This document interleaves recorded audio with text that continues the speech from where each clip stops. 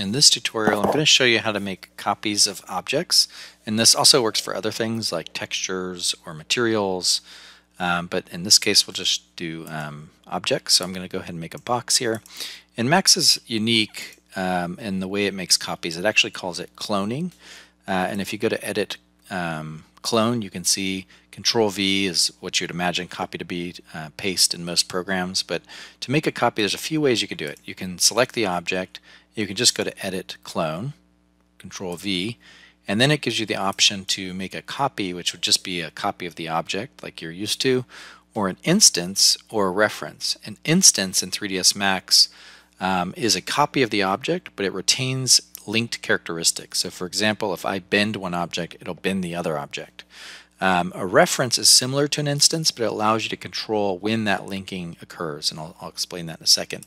So the first thing we'll do is just make a copy okay, and then we can move the copy over. It always makes a copy directly on top of itself, so it's something to keep in mind.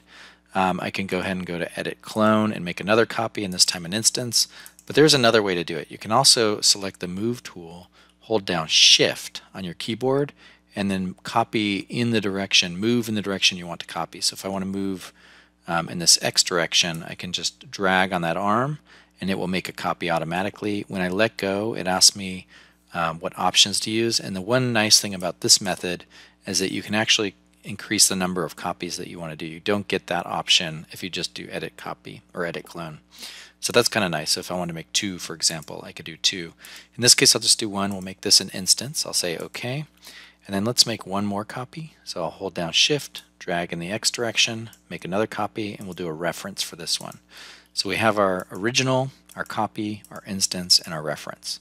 If I go back to the original and I go over here to the Modify uh, tab and I change parameters, you'll notice it only changes parameters of that initial box um, because that was just a copy of that box. Now for this one, I made an instance of this copy. So if I come over here and I change uh, the parameters of this object, it'll actually change the parameters for both the instance and the reference of that geometry. So this is nice if I come over here to my modifier list and let's say I add like a bend modifier and I bend the geometry, it's going to apply all those transformations to all of the other objects that are linked to it. Um, one thing that's kind of um, nice is if I, let's just right click on this and delete that um, bend modifier. If I select this, you'll notice that the word over here in the modifier stack is bold and that means it's linked to other objects. If I select this one, it's not, and so it's just a regular font, but if I select this, you can see it's bold and it's connected to these two. If you ever want to break, break a linkage, you can't add one later on, but you can break it. And if you want to break it, you can right click where it says box and you can select make unique. That will then break the linkage to these two boxes, so now this is a unique copy. So if I change parameters, it's now independent of the other two. Now these two are still linked because they were this was a reference of this instance. So if I go back here and change dimensions, it'll also change the reference. Now let's say I go in here and I add a bend modifier. Um, it's going to apply that to both of those. If I then select the reference, you'll notice you get this bar, which is a little different from the instance. It doesn't have that. So the bar allows you to basically, anything below the bar is linked, anything above the bar is not. So if I add a bend modifier to this geometry, it's going to apply it, let's change the axis so we can see it a little bit better.